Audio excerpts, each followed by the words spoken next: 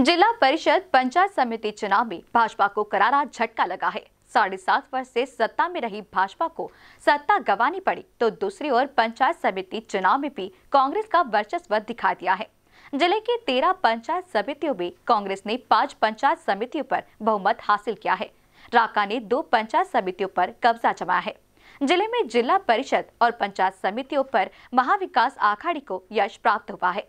मतदाताओं ने महाविकास आघाड़ी को सत्ता की चाबी सौंप कर भाजपा को लताड़ दिया है।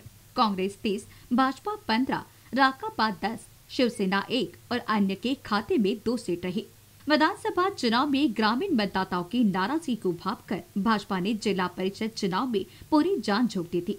केंद्रीय मंत्री नितिन गडकरी, पूर्व पालक मंत्री चंद्रशेखर बावनकुड़े तथा भाजपा के अन्य नेता, पार्टी उम्मीदवारों को जिताने के लिए प्रचार मैदान में उतरे। ग्रामीण मतदाताओं पर उनके प्रचार का जादू नहीं चला महाविकास आघाड़ी की ओर से गृह मंत्री अनिल देशमुख, पशु संवर्धन मंत्री सुनील केदार, कांग्रेस के जिलाध्यक्ष राजेंद्र मोड़क प्रचार में जुटे रहे।